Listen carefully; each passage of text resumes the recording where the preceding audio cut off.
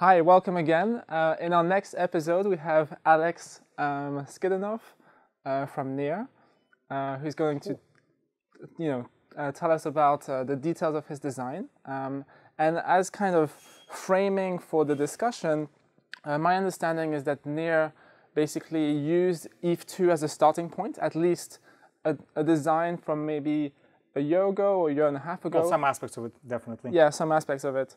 Um, and you've kind of forked off. So it would be interesting to see what, what the key differences are between uh, ETH2 uh, Yeah. and Near. Yep, let's dive in.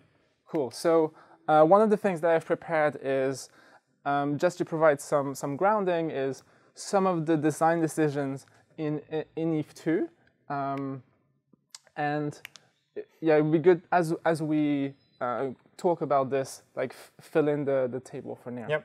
Yeah. Um, So, so before before we do that, do, do you want me like to briefly talk about nightshade so that when we use terms as we go through that? yeah, yeah. Please. Yeah. I mean, go ahead. Yeah. Okay. So, so so the biggest forking point uh, between near and uh, well, I, I call them more classic sharding designs. Uh, so Ethereum uses. Uh, so the, the more classic sharding designs, they have shard chains, uh, where every shard chain is effectively, to an extent, is an independent blockchain, right? So there are multiple shard chains. Um, and, the, and there is a single chain, uh, which is, uh, we will refer to it as beacon chain, that's an Ethereum term. Uh, there's a single chain uh, which has, first of all, significantly higher security uh, than, than all the remaining chains. So everybody, or like a very large percentage of participants validates beacon chain, and only a sample validates every shard chain. Uh, and so beacon chain is responsible for many things. One of them is generating unbiasable randomness, uh, and some others would be uh, some way of uh, improving security of every shard chain. So, for example, one common way of doing uh, one common thing that exists in many such protocols uh, is for uh, for shard chains to respect the last block that is known to the beacon chain. So if beacon chain acknowledged in some way that it saw this block, and the shard chain will never build on top of anything that that is not this block. So that's one of the things that beacon chain might be doing. Uh, so instead, what we do in near, which is we we took a step to simplify this process. Uh, so specifically, the problem is that when you, when you need to orchestrate multiple chains, uh, the the implementation becomes pretty complex, right? You need to maintain each each chain to an extent has its own fork rule, its own consensus, uh, and uh, orchestrating all of that becomes uh, designing it, thinking about it becomes more complex. So in near instead, there's only one chain, uh, which we uh, we call it the main chain. We can also call it the nightshade chain, and this entire design is is called nightshade. And so what happens is uh, in this main chain, uh, every block, so, so it has a header uh, with the pretty standard things like previous block or a global state root, etc.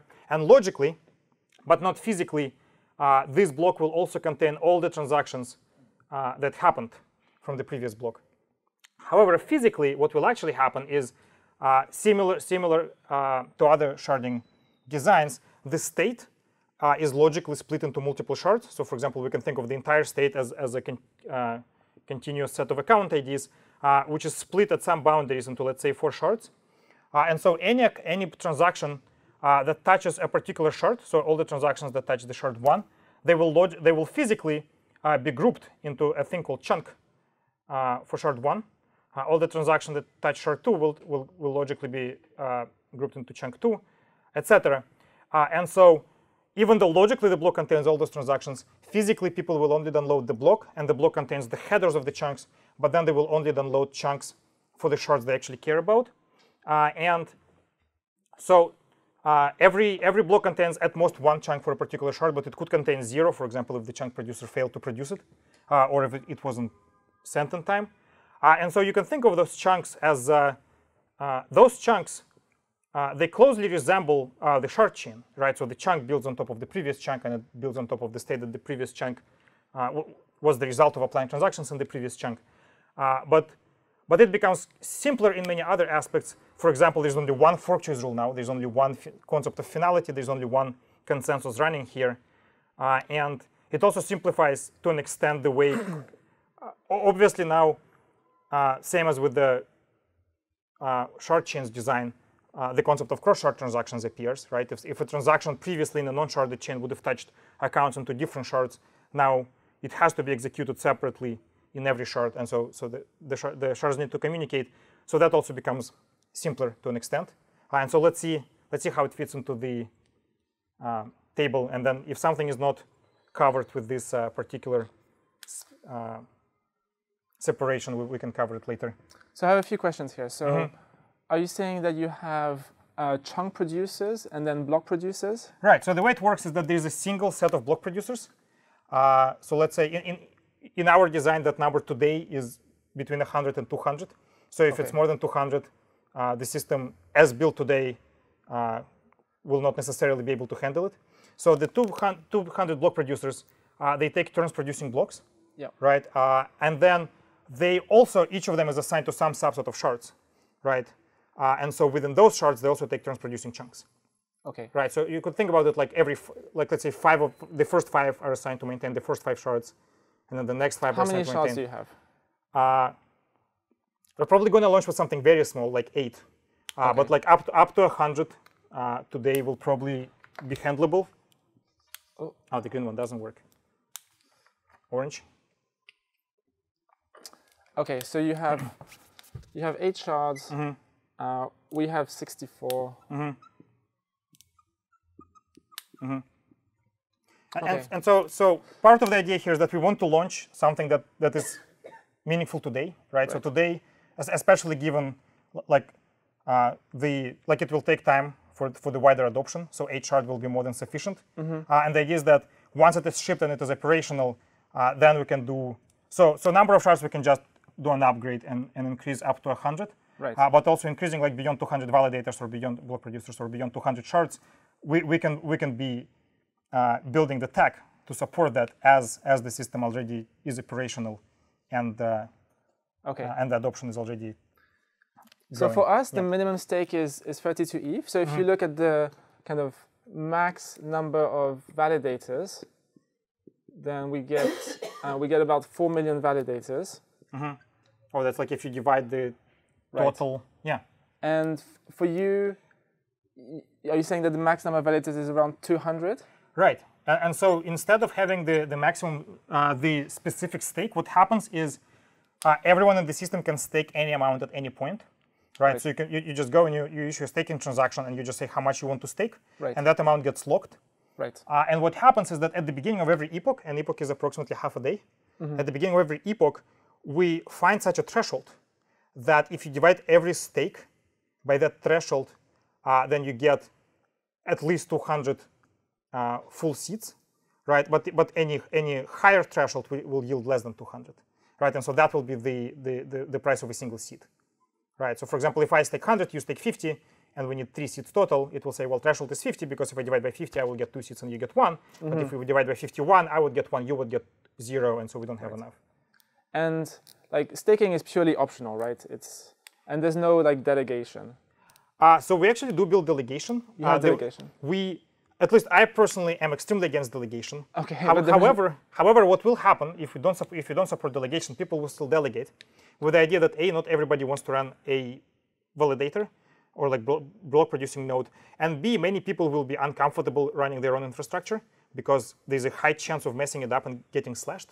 So right. people will delegate. They will just do it off chain. They will just go to one of the professional validators who exist today, and they will just transfer them money and do like a paper contract which is a perfectly viable solution. But now this system doesn't have, uh, now it becomes non-transparently. So we, we, we, have no insight into how, uh, how bad it is actually. While mm -hmm. if delegation exists on chain, we have, we have very clear picture of how much is actually delegated. We, we see the extent of the, of the disaster.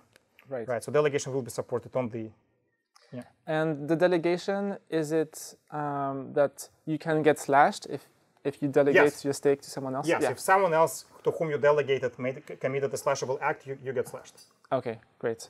Um, and like, how do you split the rewards? Is that? So, so the reward is um, effectively at the end of the epoch, uh, the total reward is just split. I think it's either equally with everybody or proportional to the number of blocks, blocks produced. Uh, but yeah, it, it happens at the end of the epoch. Okay, but I guess the, the, splitting between the delegatee and the delegator? Oh, so so that is interesting. So what happens is uh, staking happens through a smart contract. So every uh, delegatee, I guess, wh whomever is actually running the validator, Right. they have a smart contract which outlines all the rules of how exactly the stake will be distributed. So in the simplest form, it will say, I will just give you 80% back of, of the reward proportional to, to your stake, but it could be arbitrary smart contract, which will distribute the rewards back. Oh, that's cool. So you kind of have delegation abstraction. Yes. So the reason for that is that one of the big Cosmos validators today has 0% uh, or like 100% fee.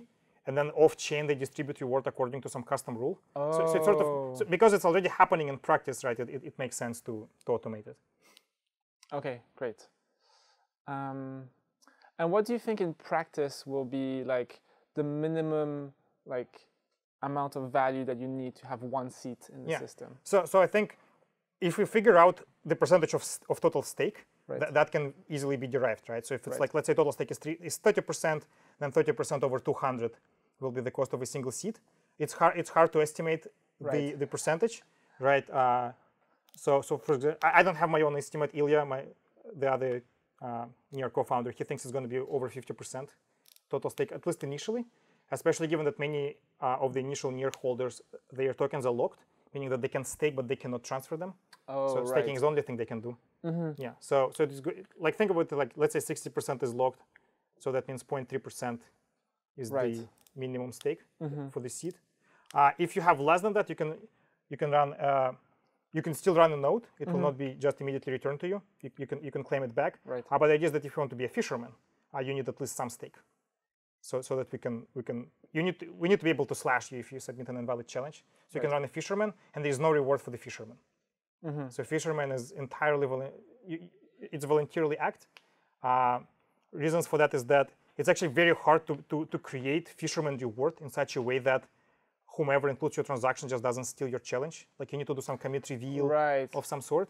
And so instead of that, we're just saying there are clearly entities who will be willing to run fisherman, like ourselves, Right. or like hypothetical exchange that is running near and has a large stake in it. So there are there's plenty of entities who will voluntarily run fisherman. Right. Uh, and then Nightshade has this concept of hidden validators, which we don't ship initially, uh, but it's going to be like in one of the fu- future updates, which provides you an extra layer of certainty that even if you don't trust there is a fisherman, uh, there will be someone assigned to validate the shard who, who is not known to the system. Uh, and so you get an extra level. We, we can dive deeper in, into it later. Okay. Um, so I guess I have a couple of questions. One is, um, you know, you mentioned the, the roadmap that some features are coming later. Right. Like we have phase zero, phase one, phase 2 What is your deployment roadmap? Right. So, so I think ours is way uh, shorter. So, so there's there's initial mainnet, Yes. uh, which will be launched. Uh, I cannot I cannot provide an exact date. It, it, it depends a lot on stability, right? How much it will take until we actually certain that it will not go It will down. launch in 2019, right? Uh, it, it will not happen in 2019 anymore for sure. Okay. that, that would be. yeah. Uh, uh, and so there are two big features that are not going to be included. Uh, it's uh, unbiasable randomness beacon, uh, Okay, which yeah. we have actually built. Like it's on GitHub, Right. But stabilizing it will take longer than we're comfortable Yeah. delaying the, the launch. Uh, and hidden validators. So those are two big features.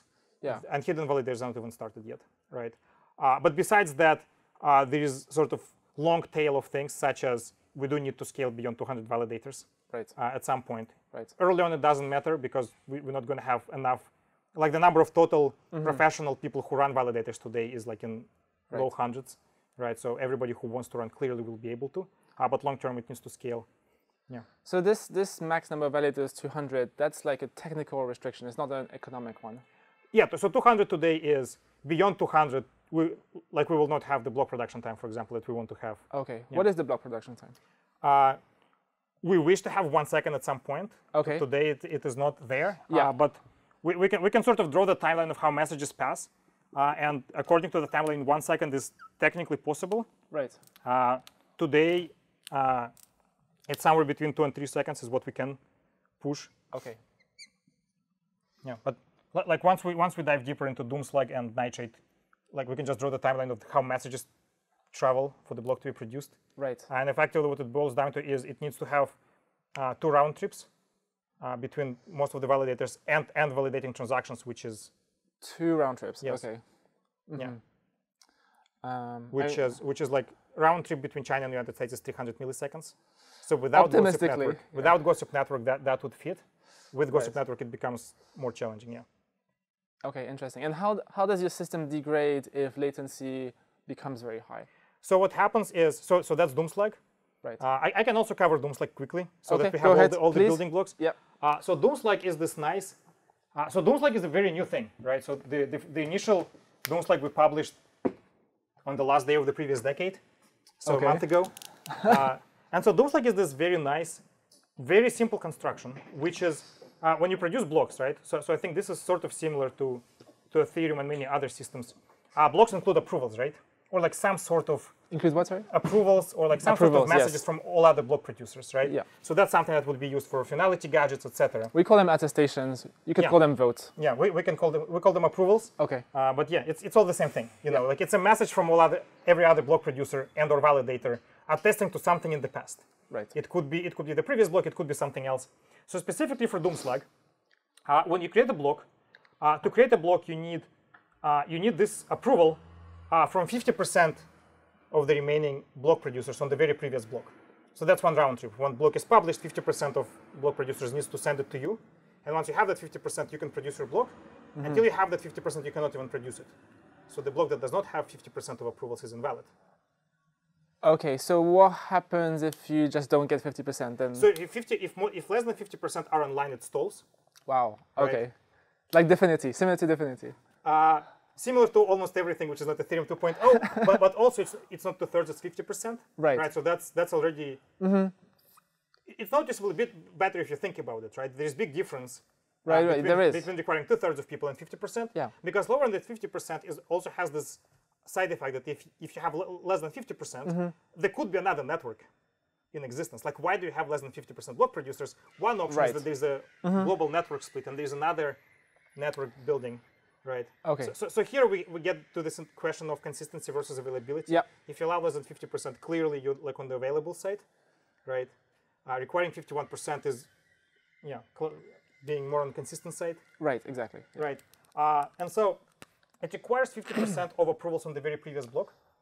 Uh, and um, uh, the way these approvals work is the moment you see the block, you immediately, or like after waiting for a little bit, uh, for like two, let's say 200 milliseconds, you send the approval to the next block producer whom you know.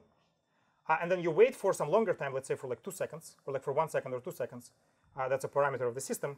And if you don't see the block, uh, then you send the same approval to the person two blocks ahead of you.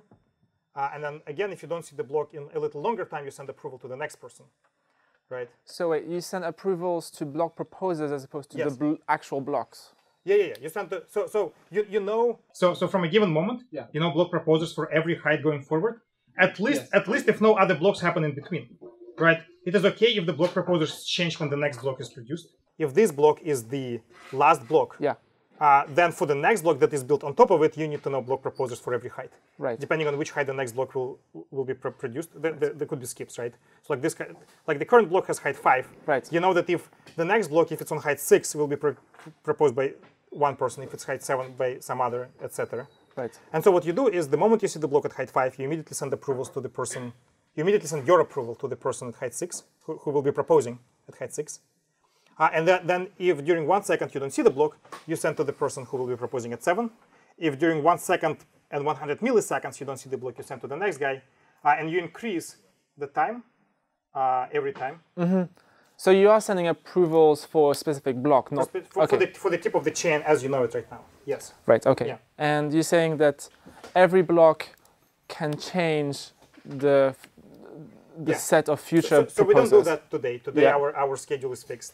It's Uh, but, fixed. but it technically can change if you want to for some reason. okay. So when you have strong randomness that you talked about, you will deploy also we the might, yes. okay. Not necessarily because it doesn't really help with DDoSing. Because if you know the block proposers for the particular block, you can DDoS them. It doesn't help in any way that they shuffle. Right. Like if we don't using some Algorand slash Ouroboros magic, they are DDoSable, you know. Like so, right. so that's a conscious choice. We- okay. Uh, and so and so that's pra- practically the entire Doomslug. And so what it gives is that uh, property number one, uh, if a particular block uh, has uh, 51% of those approvals on the, on the block at the very previous height, so the difference in heights is exactly one, uh, then this block uh, is irreversible unless at least one seed gets slashed. Right. Right? Okay. Yeah. So we call it Doomslug finality. that makes sense. Yeah. yeah. Uh, uh, and then there's a finality gadget, which is running on top of that, leveraging the very same approvals. There's one extra field in the approval that finality gadget needs. right. Uh, and with, with the finality gadget, uh, if everything goes very well, if blocks are not skipped, uh, then when this block is produced, this one becomes completely final.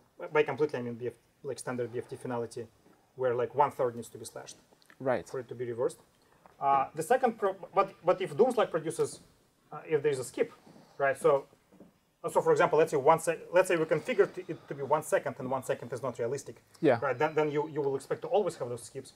And then you never have finality. Uh, so what happens is, uh, in the Doomslug, it is proven uh, that after finite amount of time there will be, because of the delay, uh, that after some finite amount of time there will be two blocks in a row with a Doomslug finality, right? And so, and, and it will happen very closely, very close to that moment when you actually cross the, uh, the time, the actual realistic timeout for the blocks, right? So Doomslug has finality, and because of Doom, sorry, liveness, and because of Doomslug liveness, finality gadget has liveness Right. because okay. because effectively what finality gadget says is that as it's single chain, I obviously work, uh, and if there's a fork, then someone gets slashed, and you can only slash people finite number of time. Okay. So you have liveness at 50%. Yes, and, okay. and then below 50%, it's not just we don't have guaranteed liveness, we don't have any liveness. It just Right. stalls, yeah. Okay. So just to recap, the finality gadget, if you have two blocks in a row, both of which by construction will have at least 50% of the votes for the previous block, Mm-hmm. then you're in a situation where if there is a fork, a break of the finality, then at least one first gets slashed. Almost. It- Almost. It, it does need to have two thirds in both blocks, of course. Oh, I see. Okay. But finality, but, but there's Right. also, uh, so for finality gadget, it's okay if approval arrives late. So it's okay, li- like, Right. like let's say some approval was not included here. Yeah. Uh, if, if that approval arrives late, Yep. Finality Gadget will, will take advantage of it. So Okay. Finality Gadget at, no, at nowhere uses the assumption that approvals have to happen on the very previous block. Yeah. So Okay. s- same as Casper FFG, I guess. Casper FFG doesn't care when approval arrived. Yeah, it just uses the set of approvals, right? Right. So you don't care between uh, you know 50 and, and above and 66 and above. Um, I guess we don't care even like from zero to, to LMD Ghost, yes. Yeah. Yeah, yeah, yeah. right. But, but I guess for sla- for slashable, there's no slashable behaviors in LMD Ghost, right? So for slashable, Okay. like for finality where someone will get slashed, there is the threshold of two thirds, right? Right, right, yeah, yeah. Right. Yeah.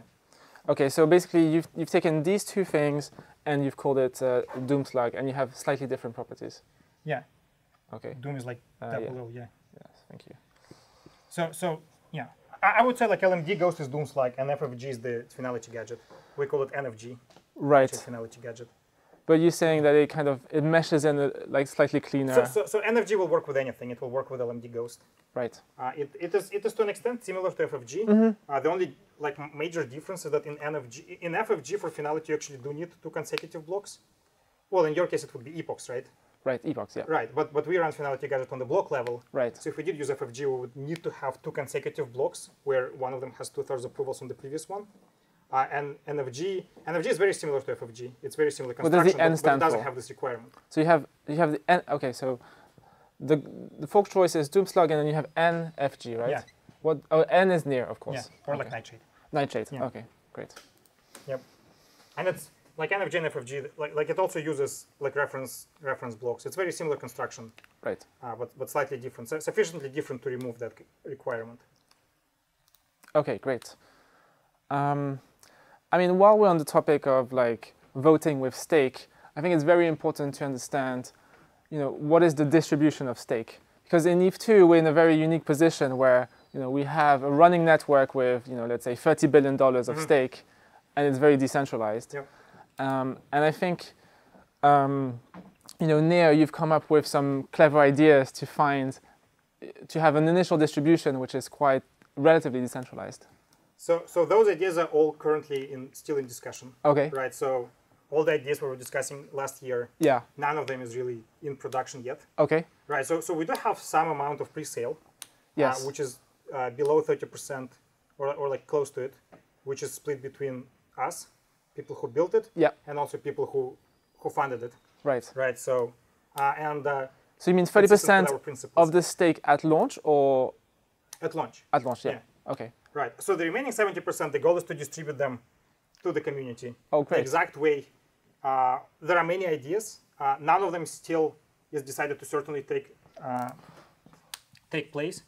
Uh, but but like some some ideas uh, would be to use something that Handshake was doing. Handshake was like doing very very nice targeted drops to uh, like GitHub accounts, for example Right. or or like have some way of uh, of people doing some like doing lock drops where people can lock Ethereum, like what Edgeware was doing.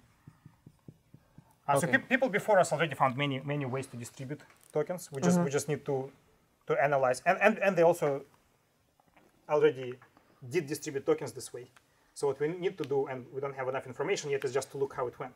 Like what happened to the token holders of Handshake, Right. what happened to the token holders of Edgeware. Well, I Okay. Edgeware is not liquid yet.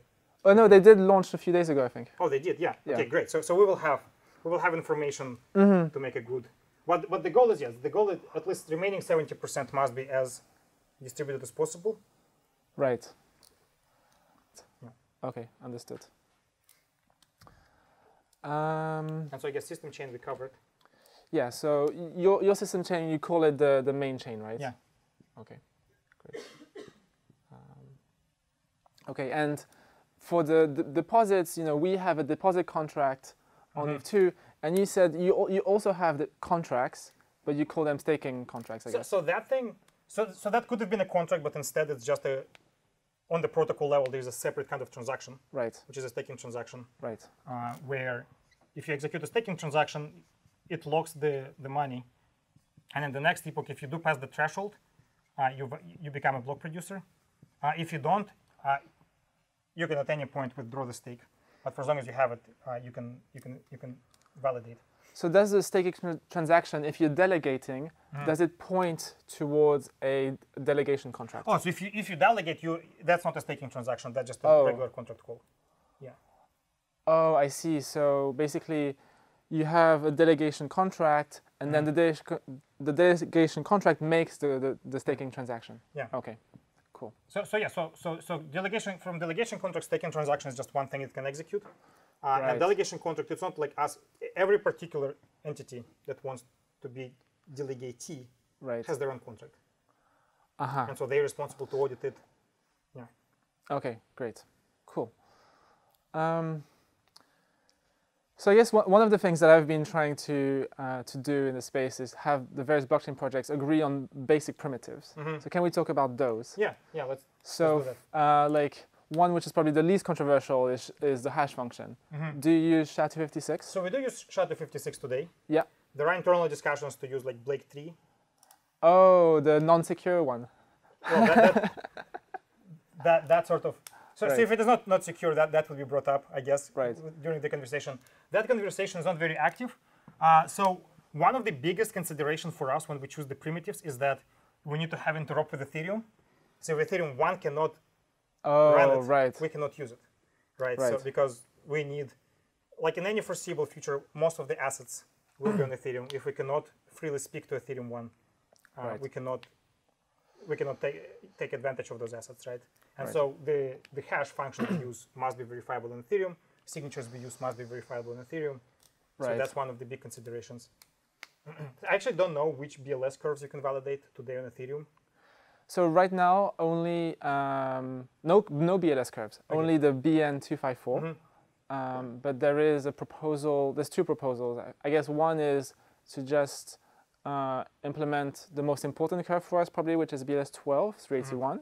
But there's a other proposal which is to have an opcode, which is well, actually a family of opcodes, which are much more general and support a very wide range Mhm. of curves. So, for example, all the BLS 12 curves. Or, Yeah. um, Yeah. yeah. But, but it's one of the reasons why we don't use BLS today is that when you only have 200 validators, block producers, it is actually feasible to send that many signatures and Right, validate them. Right. Uh, but also because of that, we can we can send our blocks to Ethereum and validate them on Ethereum side because it's E ED25519, which can be validated on Ethereum side. Okay, so you're using E ED25519. Yeah. Okay. Um, and whoop. Uh, I, I forget what, what is the opcode support for this on, on Ethereum one. Well, I don't know. I don't know either. Or well, Uh, if it is it supported on Ethereum? Well, I, I hope it is.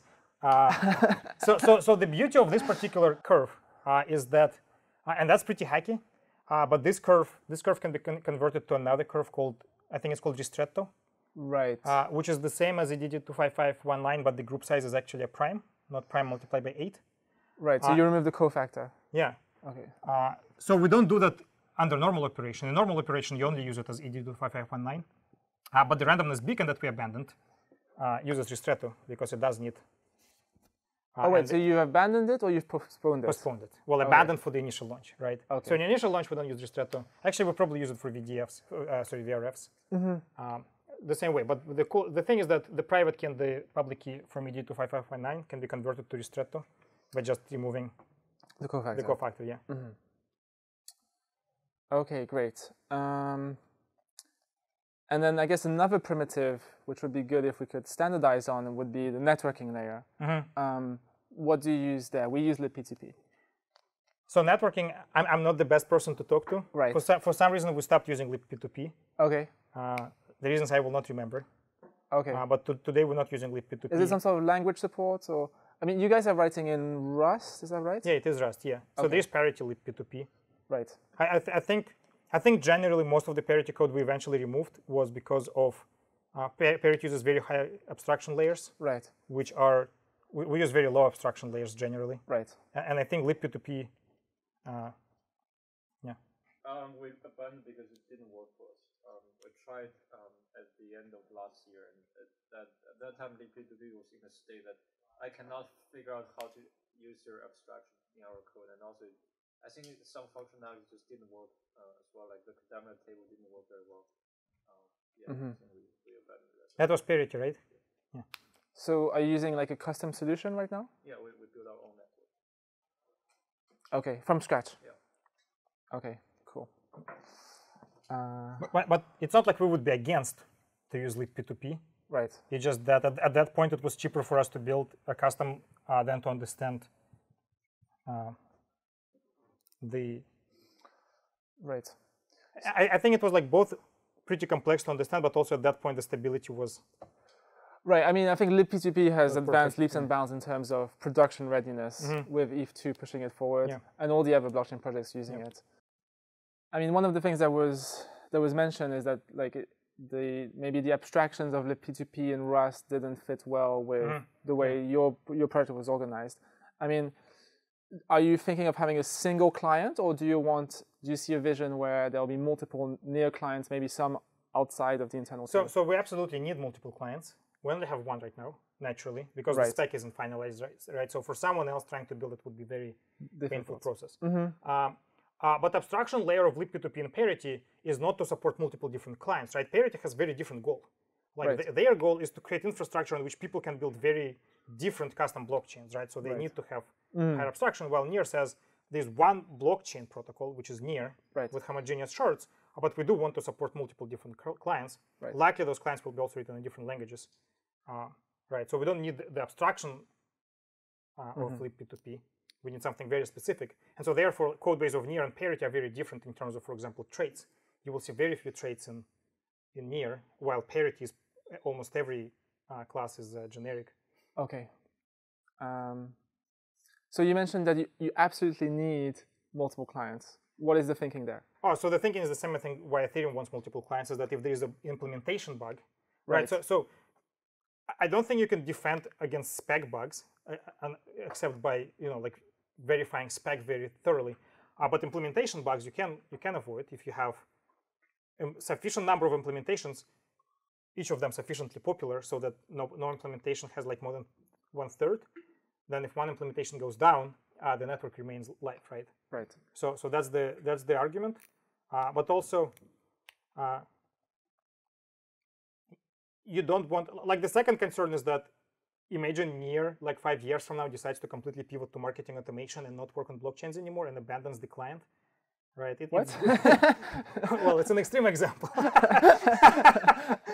right? But in this case, it's very good if there's another client where the team, like, like people can pick up and continue maintaining our I client, see, but there is no right. team that is up to speed to continue Right. doing that. Every other client will continue. Uh, there is an e- easier example. Imagine there's some company called Parity, which says from now on Parity is, is maintained in the community. Right. There's going to be some delay Right. until community is ready to, con- to continue maintaining it. Geth, there is a team that continues building, Right. you know, so it doesn't, uh, like the innovation doesn't stop. Um, I mean, I remember, you know, maybe a year and a half or a year ago, you know, the Near team coming to us potentially, you know, saying maybe we could build an Ethereum client. Yeah. But uh, you know, we need incentivization. So um, you know, I think the the the proposal was that you know part of the um, you know inflation would go to the the team developing the client. Yeah. Um, do you think you would do that in there for another team to?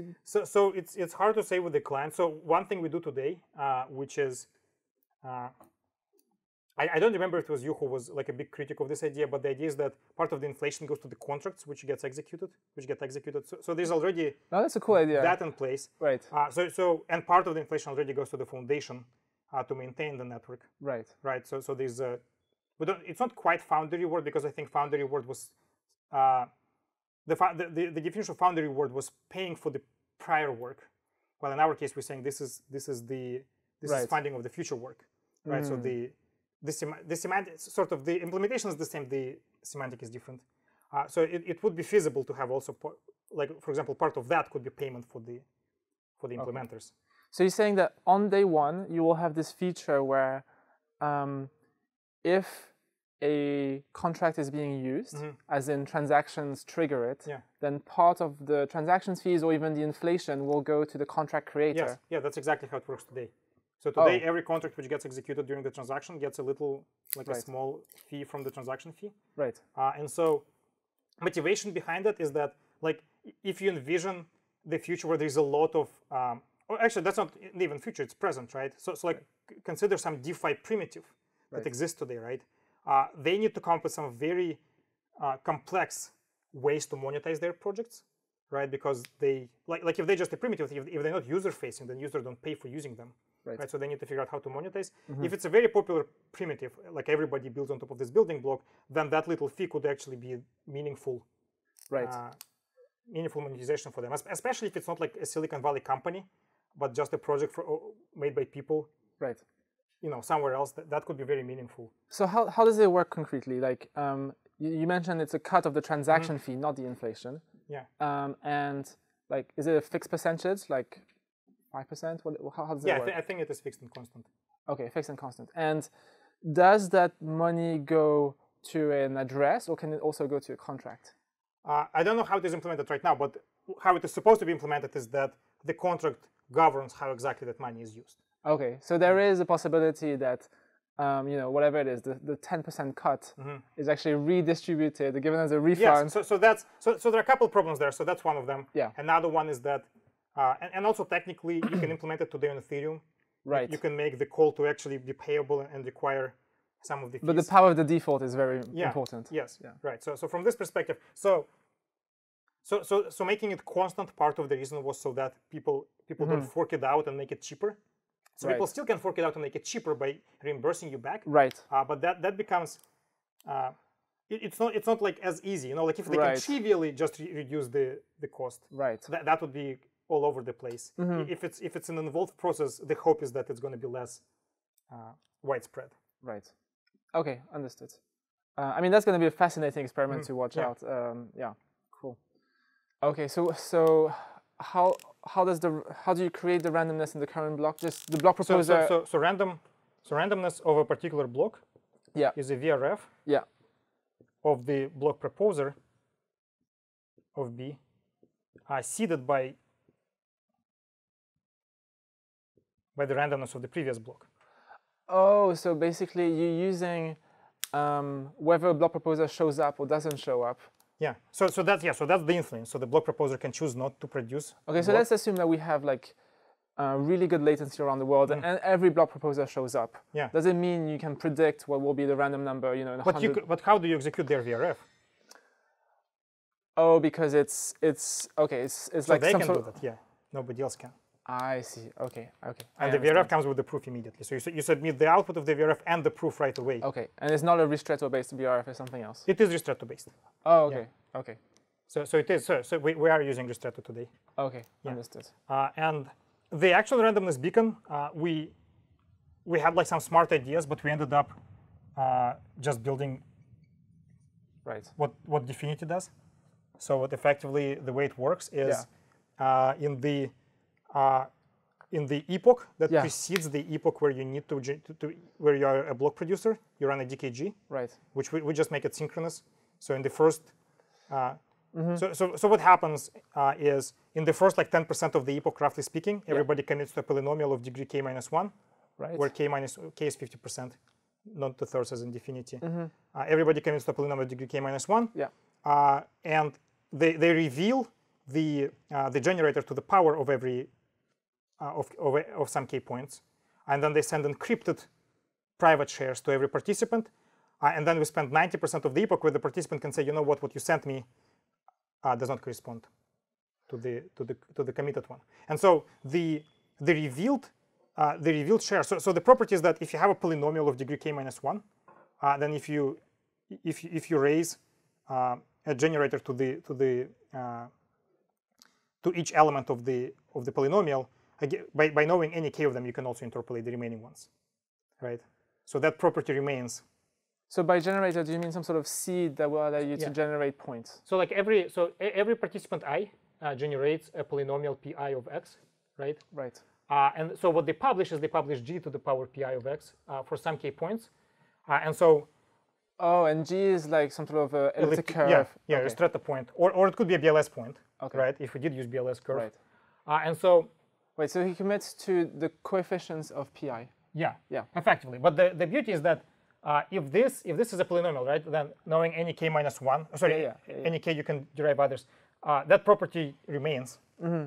So many, may, maybe for people who are into cryptography, that's obvious. For, for me, that's uh, Right. uh, that was something new, right? uh, and so then you also publish uh, encrypted version. So you encrypt uh, pi of x uh, with the public key of the participant. Sorry, let's say this is j, of the participant j. So this is also broadcasted.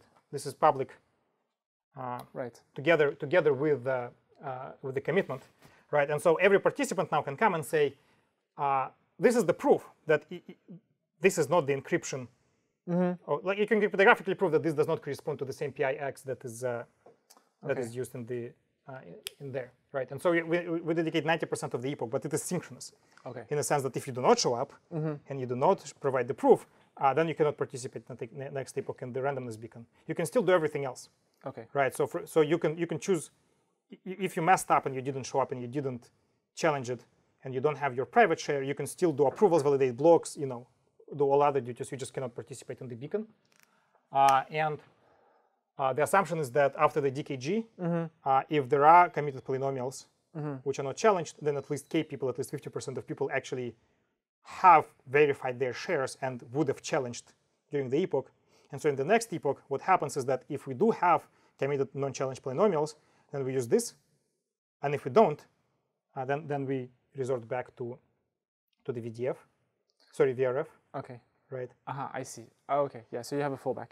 Uh, and also another thing is that, so let's call, uh, and so in the next epoch, we just use standard randomness beacon that DFINITY uses, right? Because you have this polynomial, the randomness output.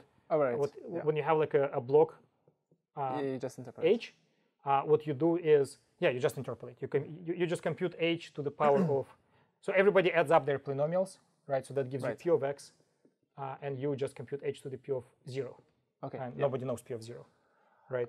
Uh, and uh, Okay. uh, but even even more to that, instead of using h here, uh, we use this thing, right? Randomness of the previous block. So like VD, VRF that is published in the previous block. And so what it gives you is that even if someone did break, like if someone did manage to get access of 50% of the uh, of the shares, and they can completely predict the output of the Uh, uh, right. of the of the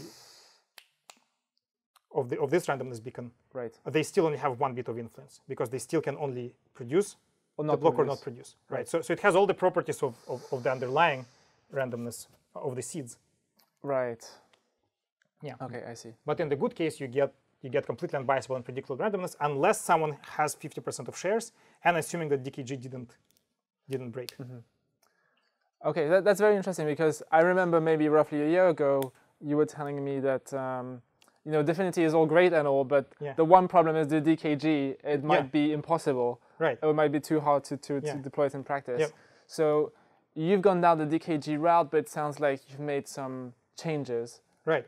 so, so effectively, we just we just said, well, we're okay with because if you if you do, if you're not okay with synchronous network assumption, that becomes way more complex, Right. right? Uh, and uh, uh, so so you can I, I think you can pretty trivially create a DKG in which 30% of people can uh, can can can predict it, not 60%. Right, so you can parameterize it in Right, such a way that you need 30% to break liveness, 30% to break Mm-hmm. uh, to make it predictable. While uh, with the synchronous network assumption, if you if you make the threshold 66%, you need 30% to break liveness, 66% to break, uh, right? And and then we can push it to 50% because because we want it to work. We, we want liveness to to, main, to remain with 50%, right? Yeah. Okay, understood. So you basically you have stronger assumptions, which makes the construction simpler. Yes.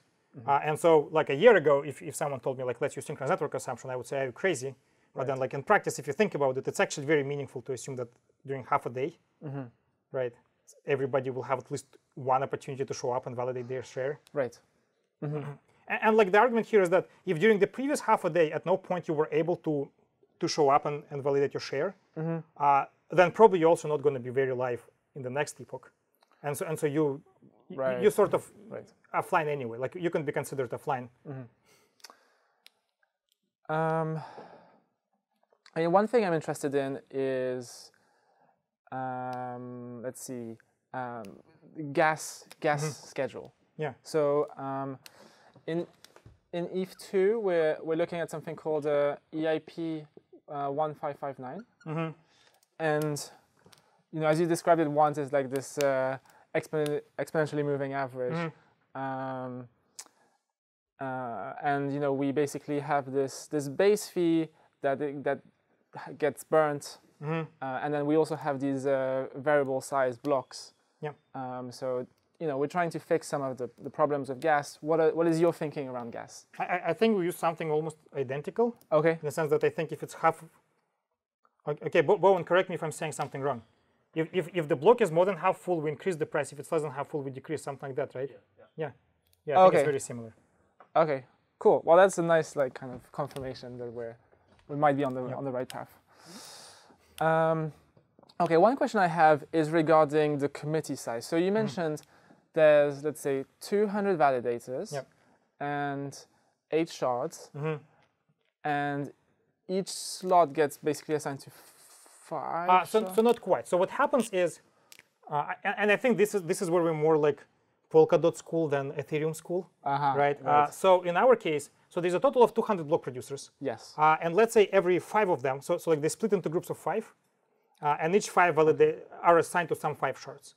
Uh, th- that's assuming like there's 100 shards. If there's eight shards, it's less interesting to analyze. Right, but let's say there's 100 shards, there's like 100 block producers, uh, and, and there's some bipartite matching. It's not quite bipartite matching, but uh, uh, let's say first five block producers are- assigned to the first five shards, and then block producers from 10 to 15 are assigned like to shards from 10 Wait. So to you're saying the committee size is five. five? Yes, committee size is very small, uh, and and so every person who is assigned to a shard, they then load the state, right? So every, Yeah. everybody has five state of five shards, um, and uh, and so they, and so therefore they just they just take turns between five of them to produce chunks, right? Uh, and that committee, it's not even technically a committee because when you produce a chunk, the remaining four don't have to to sign on it, right? So Oh, it's not really a committee. You you you alone are attesting to the validity of it. Uh, and what happens next is uh, uh, the person who produces blocks, they obviously have no insight into the validity of chunks. All, for all they know, I have a header, right. and the header kind of looks looks legit. Like hashes hashes check out, signatures check out, so they include it. Okay. So they're really like proposer committees more Yeah. than okay. Yeah. Uh, so what happens next is uh, one thing uh, which we use. That's that's again Polkadot thingy. Uh, is that when you produce a chunk? Uh, so so let's say let's like draw this. Like there's those 200 people, right? Uh, and so these people are across all, across all the shards. So when the particular person, like say this guy, uh, when he when he proposes a chunk, uh, what they do is they, they compute an erasure code of that chunk, uh, which in our case, let's say, uh, so for, for theoretical guarantees, it needs to be uh, 6x big. So like for, for something that is one meg, you will need to be six megs. But we, we in practice we use less than that. uh, because in, in practice, in practice you still cannot break it, but you cannot theoretically prove now that it's unbreakable. Uh, Wait, so what is your block size? uh, Or your chunk size, I should say? So- Wait, so- the erasure coding is at the chunk level, right? Or it is on the chunk level, yeah. So, so it's based on the gas, uh, and uh, I actually have no idea what the size is. I think it's uh, 1,000 maximum. Like, like you have uh, at most 1,000 transactions uh, plus receipts. But there's also some gas limit, right? Yeah, there's also. Yeah. So, so it, it's So the gas limit is pretty much one second of compute time. yeah, Okay, so let's see. Um, 1,000 transactions, let's say that's about 200 kilobytes. Let's Yeah, say. yeah. Okay. And then you have, let's, did you say 6x? Or? yeah. So it's like Okay, one megabyte, let's yeah, say. one megabyte, yeah. Okay. So what you do then is you send those, uh, but but then One megabyte every second we're talking about here. Oh, that's your goal, right? That's very ambitious. well, all, all of that can be fine tuned, right? Right. Yeah, like like that that can be decreased, right? Right. If we if we can if we can produce smaller blocks but still every second, we, we will go that route. Uh, the Right. larger blocks uh, Right. less frequently, because. Uh, like for, for, as, for as long as Nightshade Finality Gadget finalizes them, right, the biggest concern uh, of short block times disappears, right? The, the biggest concern usually is that uh, it affects, like in proof of work, for example, if you, if you make it too short, uh, then the adversary who, who, who does not have forkfulness, Right. uh, they, they, they have advantage, right. right? But if you have if you have a BFT finality on the blocks, that's sort of not as, as big of a concern. I mean, you can have centralization on the proposing. uh, centralization on the proposing. Okay, so let, us finish that, then, then we can think about it. Uh, but what you do is, well, let's ambitiously say it is one megabyte, right? So it is one, one megabyte after you erasure coded it, right? Yeah. So it, it is split into small parts, exactly to, uh, so, so let's say for now, for simplicity, exactly 200 of them. Uh, as even with this committee size and definitely with biggers, it will be a sample of, of block producers, not, not all of them. But for simplicity, let's say it's all of them. Yeah. And so you send one part uh, to every block proposer. Yeah. Uh, and they don't need uh, to confirm it in any way besides that if they attest to, to the block, It means uh, that they've that means that they have one little part for every chunk that that block has, right? And so that means that if the block has 50% attestations, that means that 50% of people right. attest to the fact that they have the, their little parts of the blocks, right? And so then uh, why it is 6x is that if you assume that there's less than 30% of people who, who for some reason lie to you, uh-huh, uh-huh. uh, then you have that one six to, to recover, right? Right. Yeah. Um, and like, how do you prove that? Um, you know, every Oh, that they don't know like optimistically say. no. Oh, oh, the, the, this thing is Merkleized. Right, so there's a Merkle root of this particular of this little part. Right. Uh, so this Merkle Merkle hash uh, is in the chunk header, Yes. and so chunk hash naturally depends on it now. Yes. And so the block hash depends on it. And what if? And so if someone then loads the whole chunk Yeah. and they re-encode it and arrive to a different Merkle root, that's a that's a challenge. That's Right. that's an that's a that's a slashable behavior. Right. right? Uh, and uh, so, so effectively, what happens is that what can go wrong here, right? So one thing is that you can send something which is not. Uh, um, so- so, so another thing you can do is you can compute an incorrect erasure code coding and compute the Merkle. Oh yeah, so, so if it's incorrect erasure coding, uh, then the Merkle root will not match, Right. right? When someone re-encodes it, if it's uh, if it's completely irrecoverable, uh, Yeah. then then it's also easy to show. Like I, like I will yeah. show I will show a sufficient number of parts with Merkle root, and everybody will see it's irrecoverable. Uh, and and I cannot send something that does not correspond to the Merkle root at all. Okay. So here's one thing I'm worried about. That um, so basically you have the the the, the chunk proposes. Let's say he creates garbage in erasure codes. He sends them all off. Yeah. um, and this this specific chunk goes in the block, and then you get the finality gadget, you know, which happens in two seconds because each block is one Yeah. second long, and that's not enough time for someone to both kind of reconstruct everything, detect that it's wrong, and Yeah. submit something on chain. Yep. So does it mean that you might have to revert finality? Yes. So finality.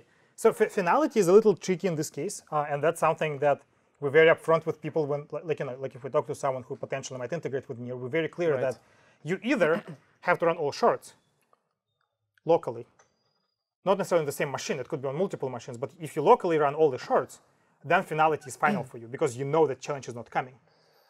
Right. Or alternatively, you, you need you need to hmm. have alternatively, the, the concept of finality for you is yes, it is finalized by NFG, but also sufficient time has passed uh, that you're certain enough that the challenge, if it if it was existent, would have come through, right? So, like for example, if you're Okay. an exchange, you can, you actually have infrastructure to run all, all the shards. Right. For you, finality is actually But how does it blocks. work? Okay, so I understand finality from the point of view mm. of the user. Yeah. That you can have these extra checks, Yep. either by waiting more mm. or by downloading the chain yourself. But what about from the point of view of the chain and the and, and mm-hmm. the proposers? Because presumably they would suddenly have to move to a different chain and Yeah. do like a, you know, Right. So so it is it is actually, with, especially with a single chain, it's actually pretty simple, right? So so imagine like you're building a chain, uh, and then suddenly, sometime later, it was it was it was proven that this block has an invalid chunk. right? Well, it's very simple. You just you, locally you just say these blocks are invalid. This is my tip, and you continue operating. And will you just continue working here, just ignoring Oh, this no. ever existed? So so that was initial plan, but that's actually very hard to do. okay, Uh, well, at least it's way harder to on implementation level. So on implementation level, it's way easier to continue like this. So the height, the height will continue from here. It's going to be the next height. But this is the parent. It has some complications because uh, now the finality gadget and Doomslug need to be aware of the because if the finality Right. gadget and like have no idea that blocks can be challenged, then this is indistinguishable from actually someone forking out right, right? yeah, So that that should cause slashable behavior. Right. So the way to solve is, uh, well, without details of finality gadget and Doomslug it's not that easy to say, but effectively what it, like finality gadget, for example, has a concept of a score, which needs to be strictly like increasing in certain cases. And we're just saying that if there's a challenged block, right, uh, then the score, uh, you can effectively say the score of the, you can increase the score of the block by presenting a challenge block which has higher score, uh, which will install the finality gadget. okay, So finality gadget will be dysfunctional here, but we will be able to to, re- to restart it here by proving that the score has to be higher because there's a challenge block with a higher score. okay.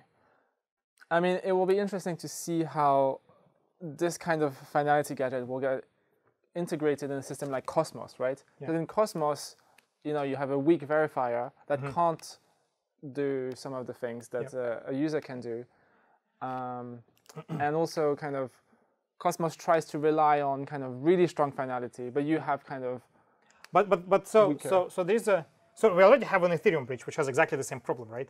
Ethereum bridge needs to know the latest block.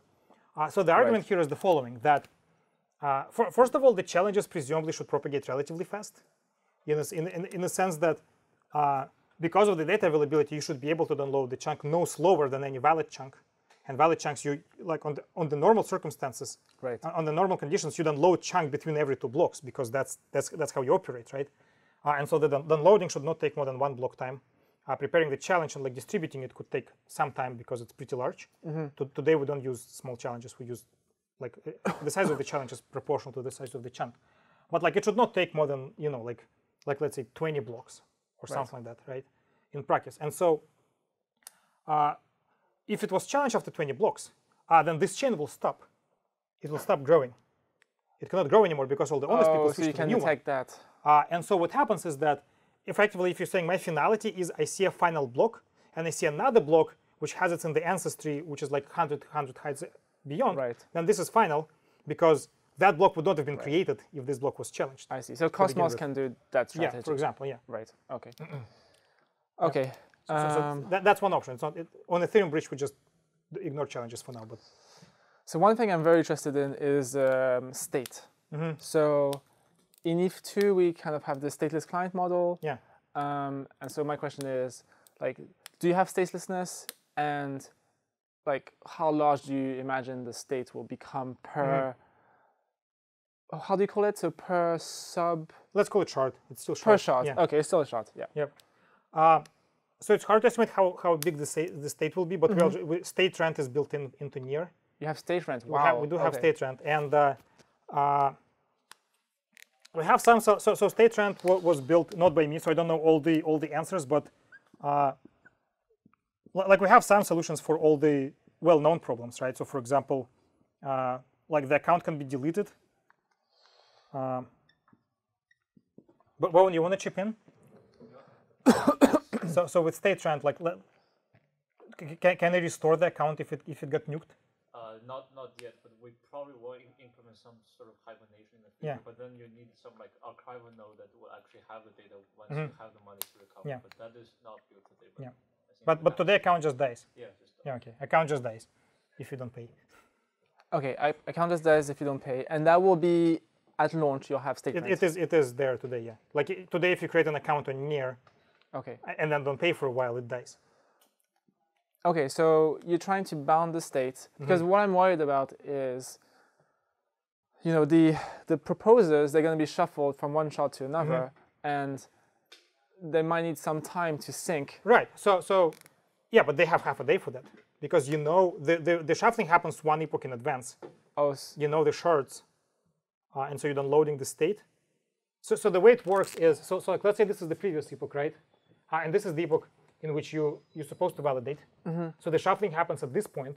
So at this point, you know everybody who will be validating in this epoch, and so you immediately you know the shard assignments. So you have half a day to then load uh, the uh, the state, uh, and then uh, there, there are like some implementation details here, which is once you then loaded the state, you need to start applying block applying blocks because state at this point is different from state at this point. Right. So what happens is you then load the state. Once you got here, right, uh, there's this process called catching up, right. uh, where you apply all these blocks for these shards, and then for every block after that, you, you just apply current shards and the next shards. So, so what you validate now, what you validate next time. Okay, so if I understand correctly, like half a day in advance, you will know these five shards that you need to sync up. Yeah. Okay, and okay, and the state could be let's say, I don't know, 10 gigabyte per shard. That's 50 gigabytes download in half a day. Yeah, maybe. possibly doable. Yep. Okay. A- And, yeah. yep. Okay. Cool. Um, But, but other than that, like the biggest problem in state, which like I would love to solve, but we have no solution today, is that updating Merkle trees is very expensive. right. Like, like if we can get get rid of Merkle trees, we will easily like 5x the number of transactions we can process. Uh, but today today we cannot get rid of them. We don't have a good solution for that. I mean, one kind of brute force solution is like a Merkle tree ASIC. Yeah, sure. or, or like even even like running them properly on multiple cores. It's not something that commonly is commonly done today. Uh, there's something else interesting about state. Um, yeah, don't remember. Okay. Um, so one thing that you guys innovated on um, is like guaranteed execution. Mhm. Um, can you talk a little bit more about Right. that? So so the way it works is uh, um, uh, so when you have let me erase something. So, so it's not guaranteed execution is a little bit strong of a word. It's it's sort of Right. gu- guaranteed receipt delivery. So receipt will be delivered, but then later it can get uh, for various reasons. Uh, the most obvious, you might you might not have enough gas to execute it, right? It will it will get nuked, uh, but it will be delivered. It will not get lost on the way, and you don't have to sort of monitor it. So the way it works is, uh, when you create a chunk. Uh, so first of all, I think what is important to notice is that the the chunk contains the state root as of before transactions in the chunk are applied, Okay. not as of after. Right. Uh, I, I don't remember how it is done in Ethereum, but uh, After. uh, yeah, so so what it, what it what it what it allows you to do is that if you if you do after, uh, then you have transaction execution serialized twice, uh, because uh, for you to create a block, uh, you need to like let's say there's only Alice and Bob, there's only two block producers, and then they take turns creating blocks, right? So Alice just created a block, uh, and before to create a block, she executed all the transactions in the block because she needed the post state root Right. before she even sent the block to Bob.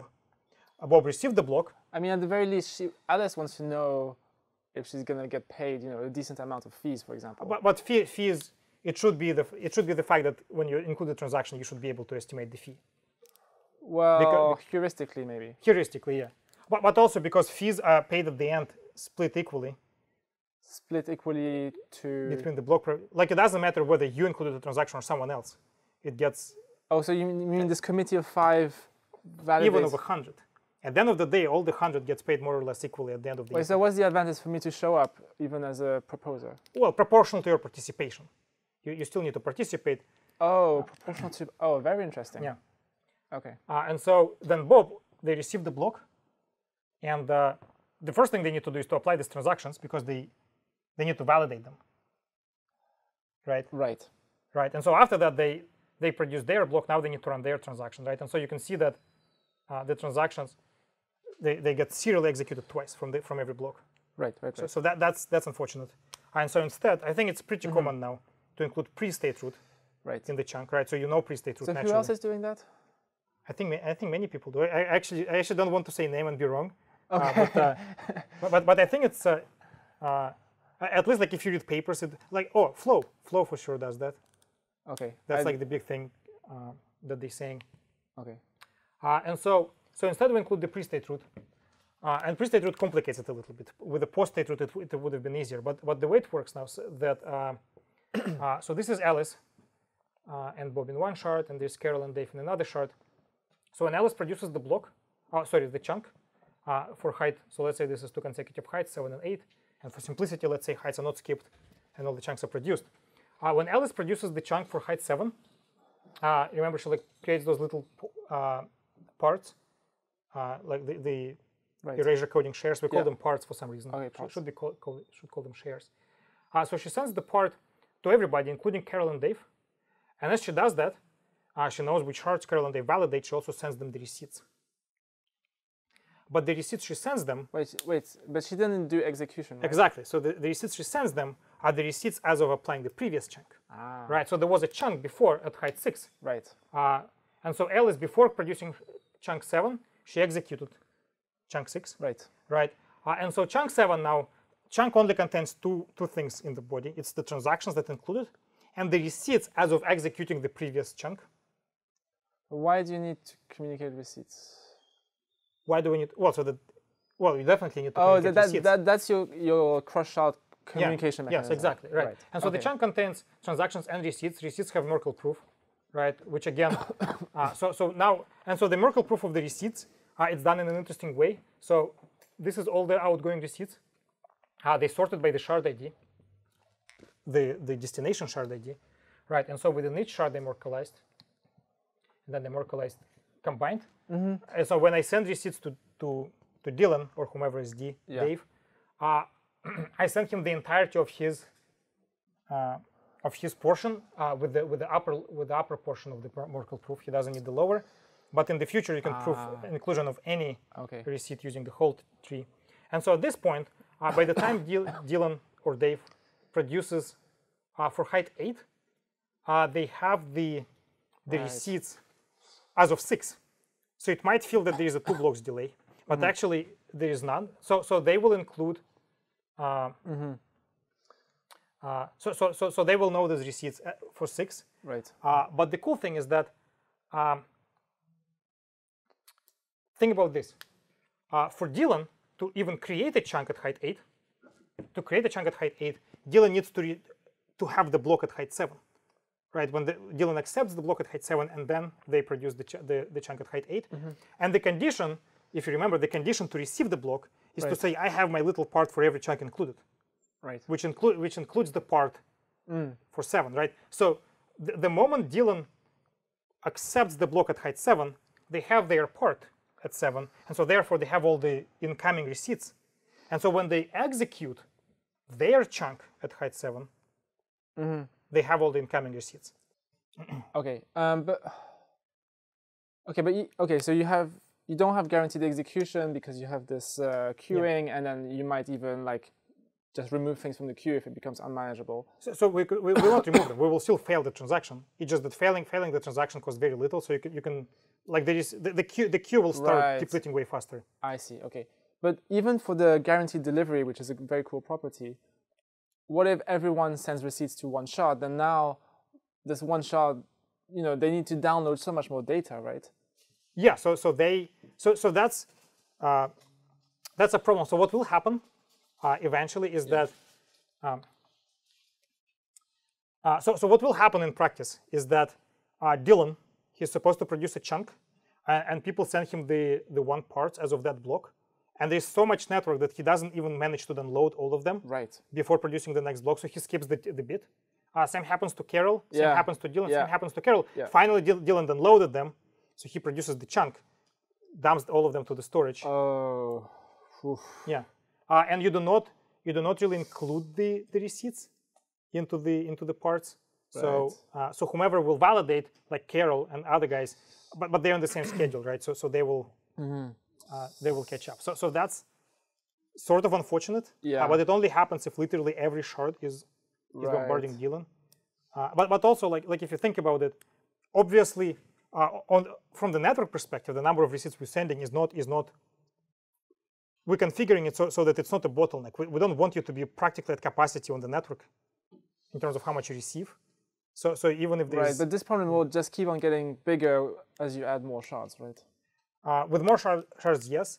And so once we try to scale way beyond, so with 100 shards, it's already quite a bit of a problem, but not Yeah. as terrible because it doesn't mean it will take you 100 blocks to download the receipts. Right. It will take less because because it's not the bottleneck. Right. But like if we want to go to 1,000 shards, that becomes unfeasible.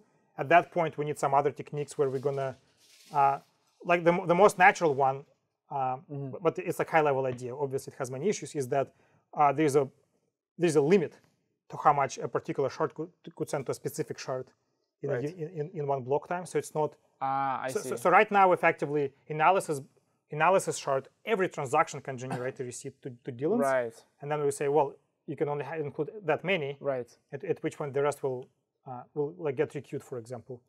Okay, so you can mitigate the impact of having more shards. Yeah. Okay. But, but that has many problems. For example, if you it, uh, If you what? like, like let's say let's say because Alice when she produces a block she doesn't know which receipts will be created, Yeah. so she cannot not include a transaction that generates a receipt. Right. So when the block is executed, uh, once you hit the capacity, you need to do something with the remaining transactions. Right. So most likely you will just requeue them, like put them into the queue. Requeue. The- Okay. The, the, the same way you do it today with receipts. Yeah. Uh, but then the problem is that when, when when those transactions come back to the next block, again, half like large percentage of them will get to the queue. Right. So that's quadratic. That's uh-huh. that's like that's not that's not a viable solution. Right. But it's just like a high level, mm-hmm. one high level idea how it could be done with mm-hmm. a bigger number of shards. But that, that's an open problem. right. With eight shards, it obviously works. Mm-hmm. So one of the things that you guys have innovated on, and you kind of drew a diagram at one point, is like you have the state, and then instead of being kind of nicely partitioned regularly, you kind of is more dynamic. Like this. Can you talk about this a bit more? So first of all, this is not built. This is not built. So today it's static. Uh, but the idea would be that as, as the shards execute transactions, you can monitor which shard is more busy than others. Yeah. Uh, and then at that point, you can uh, you can start shifting the the boundaries. They, they're still going to be uh, contiguous chunks, right? So if there's a particular contract which is disproportionately large, then at the very best case, Right. Yeah. Yeah. yeah, It, it, it will be in the same shard, right? In the shard on its own. Uh, but this is uh, the idea is that the way state sync works is that when you do state sync, uh, you download contiguous parts of the state uh, with the Merkle proof, and the Merkle root is global, Right. right? You, you can easily compute global Merkle root just by Merkleizing, Right. yeah, the Merkle roots of the chunks, right? So the Merkle root is global, and so uh, with this resharding, it will it will happen, let's say, on the epoch boundary, right? And so when you download the state for the next shard, you know the new new boundaries. It's it's actually it, it's it's a slight complication because today you download from a particular person the entire state. Right. Now you just need to be smart. You need to say, oh, in the previous epoch it was like this, Right. right? So you will say, well, this this part, uh, th- this this part I will download uh, from someone who was following this shard, Right. and this part I will download from someone who was following this shard. But the rest of the state sync infrastructure is already supporting sending any part of the global state with the Merkle proof, uh, and so that that doesn't need to be changed. And, and other than that, it's the same as gas fee. You know, like like you look at how how busy the shard is. If it's if it's too busy, Right. then you start resharding. Okay. So, and presumably to keep the complexity reasonable, you'd only do the rebalancing, let's say once a week or once a day or Yeah, once per epoch. One, once per epoch is actually doable because you need to, to read and load state anyway. Right. So it doesn't matter if it's going to be like Okay. like at that point actually having like, like the same boundaries doesn't give you much. Okay. And then prior to the rebalancing, you'd expect, you know, every shard to have its own gas market with some variations. So so that's that's a unsolved problem at this point. Right. We, we we're debating right now internally Okay. uh, how exactly it should be done. So what are the options here? Uh, well, one option uh, one option is to have gas market per shard, uh, which is So that's unavoidable, no?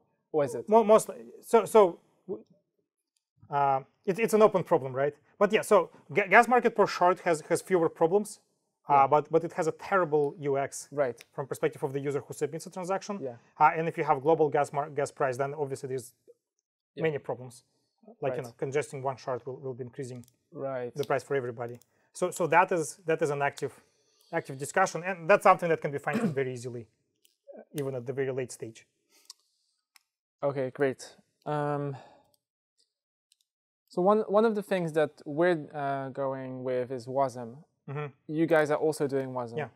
Um, can you tell more about that, like Uh, Well, compiled versus interpreted, or which engine specifically are you using? Will that and will will you have WASM from day one? so yeah, we do have WASM today. Yeah. So so the, the VM today is WASM. Yeah. Uh, I, I think we use like single pass compiler. Single pass compiler. Yeah. Is it the case, Max? Yes. Yeah, we're using single Wasmer. Yep. Yeah, we use yeah we use Wasmer today Right. with a single pass without optimizations. Uh, even even more crazily, at this particular point, we have floating point numbers enabled. Uh, Which are non-deterministic, maybe. uh, they have they have a particular source of non-determinism, which is nans, uh, and we, we just plan to to mitigate that particular non-determinism. which is what nans? Nans, yeah. So so the problem is that uh, What's a NAND? NAN, not a number. Oh, not a So- number. So, yeah. Mm-hmm. so the particular problem with floats uh, and the source of, like according to WASM spec, the particular source of non-determinism is that if you have an operation which has two nans, uh, and those two nans have different representation, uh, like you add them up, then the output will be one of them. But which one depends because a compiler can choose to optimize addition and, and swap the arguments because addition is commutative. But suddenly for nans, addition is not commutative, Ah, mm. right. right? And so a wrong nan can become the output Right. right? But, but then obviously in a smart contract, that could that your network diverged. Your state is one bit different, Yeah, yeah, yeah. That's terrible. right? Uh, but nans can be um, you can choose a canonical representation for nan, and just after every floating point operation, you can say now if it's nan, use a very particular canonical representation. It becomes slower. Okay, Ah, so you have to do a check is nan every time. Yes. For Okay. every time you touch floating point numbers, Right. If the output is floating point number, which is which is no worse, of course, than completely banning floating point numbers. Okay. Uh, and the reason why we enabled floating point numbers, we had them disabled for a while, is that the actual DevX is terrible because you constantly accidentally use floating point numbers. Like you use be- because at the end of the day you use some of the one of the languages which compiles to WASM like AssemblyScript or Rust, Ah, and they have floating numbers all over the place. Like hash tables in in Mm-hmm. AssemblyScript used to be using floating point numbers. I as a developer didn't do anything wrong, Right. but suddenly my, my contract doesn't compile right. right? Uh, and so we just we're just taking like half a step further instead of just banning floating points completely. We specifically solve the Right. the exact problem that that exists, uh, and also so for WASM smart contracts for uh, with our particular bindings, you can do any asynchronous calls to any contract in any shard. The way you do that is you just say this is the contract. This the same way you do in Ethereum, but it's just asynchronous. So e- every contract call is asynchronous. Every, and every that's to yeah. allow this kind of stuff. Right? Yes, uh, or, or like this kind of stuff, right? So effectively, what happens is in a smart contract, you can say now I want to call another contract, uh, and at least in all the languages languages we support today, there is a concept of a promise. Right. So it gives you a promise. So in your code, uh, Right. your code is actually very readable. You're just saying like call this contract dot then, and then you provide what needs to happen next. Uh, on our end, we will separate it into two different, uh, whatever WASM blobs, whatever they are. We will call the first one Right. schedule the receipt, wait for the receipt, receipt back we'll call the second part. So that is abstracted out. So doing everything asynchronously, that's what DFINITY is doing as well, maybe. We don't know. Okay. DFINITY only knows. Uh, Uh, right. but but um, we also have this thing uh, which uh, uh, James Prestwich built for us, Oh, cool. uh, which is we have a Ethereum virtual machine as a smart contract compiled to WASM deployed on one of the shards. And so within that virtual machine, you can run any VM contracts. But obviously, they they have no, like they, they live in the isolated world of a single shard. They they have no concept of cross shard communication because synchronous calls cross shard kind of don't work. But within a particular shard, you can have you can have VM contracts running with with synchronous calls between themselves. An Ethereum VM. Yeah, yeah, E- EVM. Yeah, Okay, so- but as a specific version, like, like how do you governance on that? Like you'll just freeze a specific Oh, it's it's a smart contract. I, I don't know what exact governance today for upgrading that contract, okay. uh, but like any smart contract on it, on on, on near, uh, there's there's some rules for for deployment. Actually, that's a good question. Like governance, like what is what is your thinking here? So so we don't have we didn't build any formal governance. Right. Uh, and the, the way uh, the way initially it will work is that I, I, think it will work the same way as with any other chain. We'll, we will ship a new binary which has a version, Right. uh, and on the protocol level, everybody can can vote right. for the next version. And, At and- the pro- and wait. Even that might not exist on the very first version. On the very first version, it could be like completely social consensus. so the voting is just signaling. It's just signaling, yes. Uh, well, to an extent. So, so the way I see it, and that might not exist in the first version, right? We, We're debating if we want to build it before or after mainnet. But the way I see it is that uh, the approvals in the block, they include the version, the, the highest version you can speak. And at the epoch boundary, the version switch can automatically happen if, uh, if, if sufficient percentage of, of the block producers do speak the new version. Okay. Yeah. So so so that that that is all uh, like at the at the early stage of how it works. Okay. But there is no token vote or anything. So so it is token vote to an extent, but it's token vote by block producers. They're effectively saying we, we want we're ready to use the new one. Uh-huh. But right. governance in terms of like who creates a spec, who creates an implementation, at the beginning it's going to be us. Uh, we call it like the, the reference maintainer or whatnot. Right. Uh, and if we go rogue, people people can always say like, okay, let's not use the, theirs anymore. Right. Let, let's hard fork. Like the same the same the same governance that has been working for the last how many now 11 Right. years. I mean, even Bitcoin has been using this signaling mechanism, Yeah. right? Yeah. yeah. So sig- signaling. The only question is like, do we want to build it in now or or or later? Um, actually, going back to the WASM stuff, so you said there was these promises. Mhm. Like, um, wh- how, how fast do these promises return? So effectively, let, let's say chunks are never skipped. So every block has all the chunks. Yeah. So what will happen is on height seven, Alice creates a block, uh, which includes the the promise from six, Right. right? On height seven, when Dylan receives uh, their part, they will already execute on the promise, right? Uh, and so, so, so like effe- effectively, So it's like a one one slot duration. so, so so one slot to get to seven, and then one slot to get back to eight. okay. So, so if everything goes very well, if there's no congestion and chunks are not skipped, uh, then something that initiated in six will hear back in eight. Okay, but then what what, what if you you know with reasonably high probability that um, you know the two contracts are going to be in the same shard? Do you get faster than two? So today, no. Okay, so that's a huge trade-off, right? Yeah, so so so it's a trade-off. Uh, the I, I think the biggest reason why we did that is that we don't want people to grind, right? Be- Because like what you will end up having is you will have one smart contract which everybody needs, And then they want to be close and to it. everybody will want to be in that shard, right? And even with resharding, so without resharding, you're guaranteed to have everybody in that shard, because like I mean, in a way, it's proof of work. It's like meritocracy. it's not it's not a lot of proof of work. There's hundred shards with a probability one percent every time you land in the shard you want to. So it takes you 100 attempts to deploy. No, but what I mean is like, if you want to be extra close, so that the probability that you'll be separated is Yeah. very very low. That, that's with dynamic resharding. With, Right, without with- dynamic resharding, you, you just oh you just yeah, yeah, yeah. deploy to I mean, with shard. dynamic yeah. sharding, yeah. Yeah, with dynamic resharding, you can get closer and closer, but it's still uh, it's very undesirable Right. property. So instead, what happens is that uh, it gives you a little bit of an advantage to be in the same shard because you you're guaranteed to be in the very next chunk uh, when that happens in the same shard. While between shards, like if the chunk is skipped, it's, Ah, it's okay, more but a it's still still you know one second is much slower than you know instant. Yes. Yeah. So, so at least at least today it is built this way. Okay. Uh, the second reason for that is that it's easier to implement everything consistently than special case the same shard.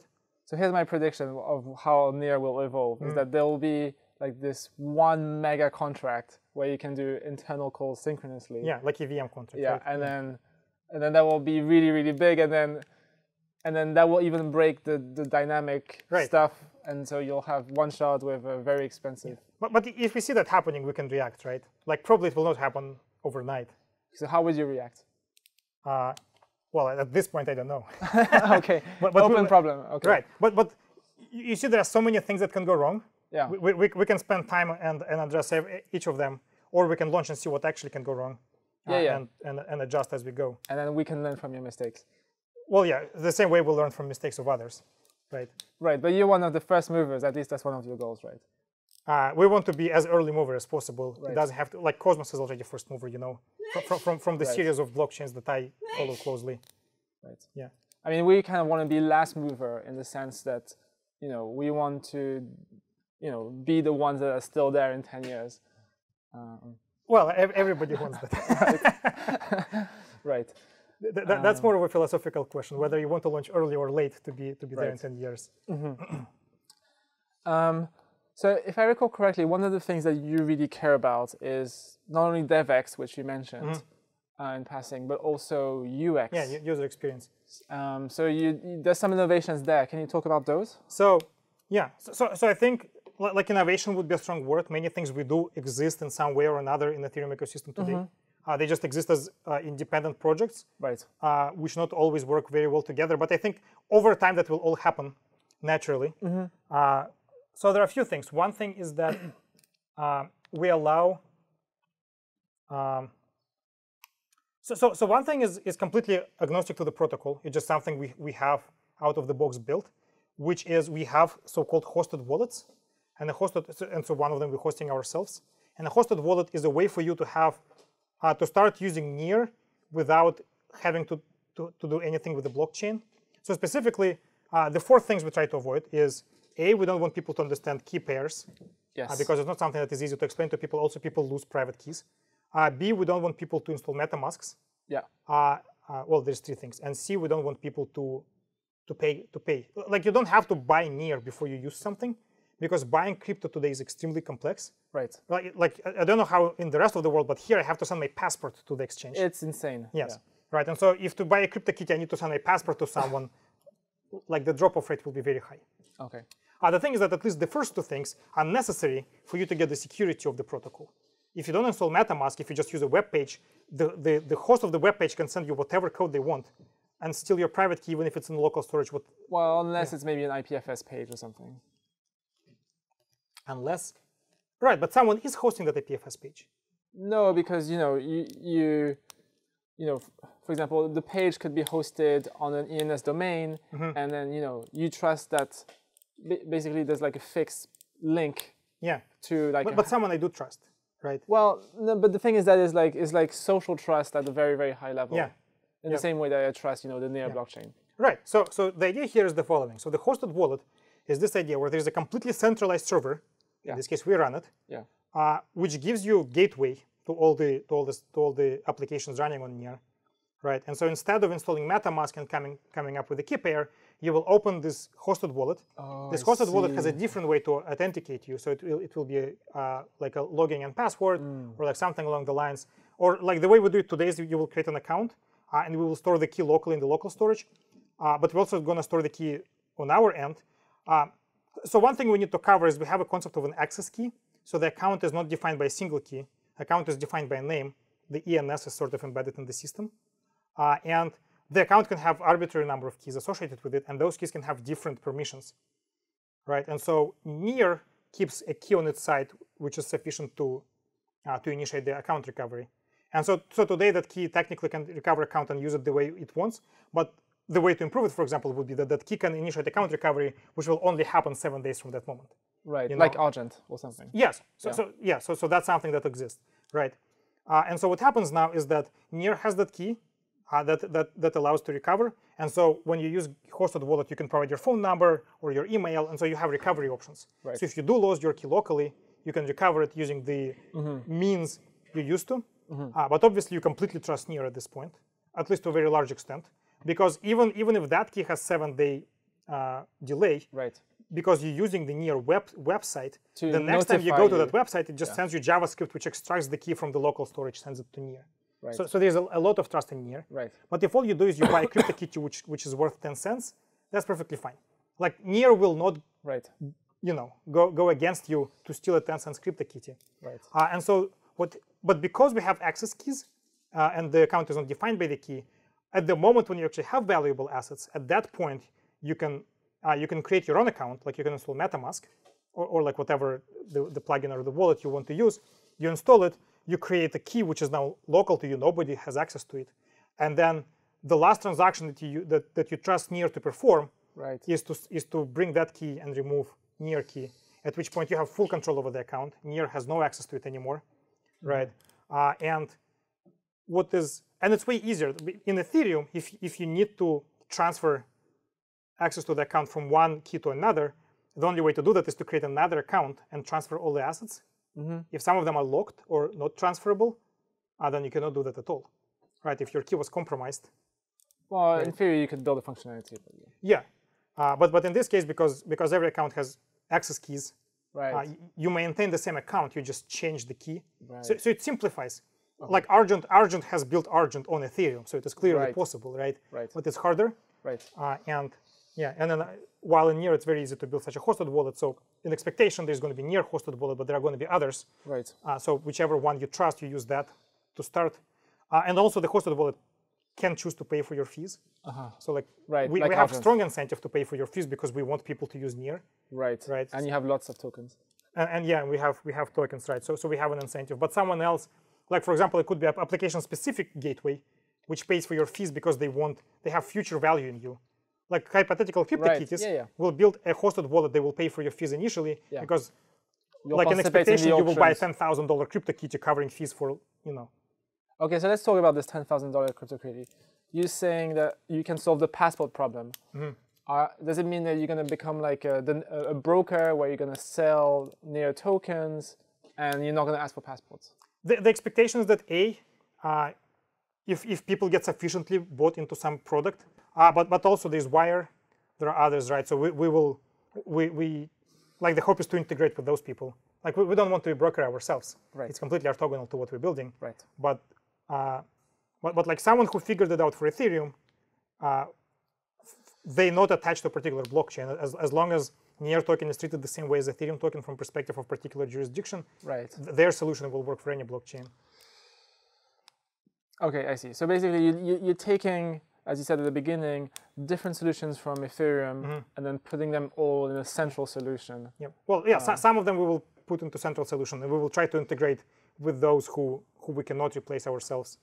Yeah. But but the the idea is that on on Ethereum that to, today there are steps towards very good UX, but they they far from from converging, uh, and they and they disjoint, and so we're just saying, well, let's have one combined solution Right. which works, right? Right. So so so I I- I wouldn't say that this is like a huge innovation. Uh, it just in, in UX it's not innovation. It's just it's convenience that that matters. Right. Okay, I mean, there's there's a few things that I that, that we could talk about, but um, is there anything in particular that you'd like to highlight before we wrap up? No, I, th- I think we covered So much, yeah. yeah more, more than I was expecting. Yeah, Okay, excellent. Well, thank you so much. yeah, yeah. thank you, Uh, thank you for participating. Yeah. Cool. And uh, cool.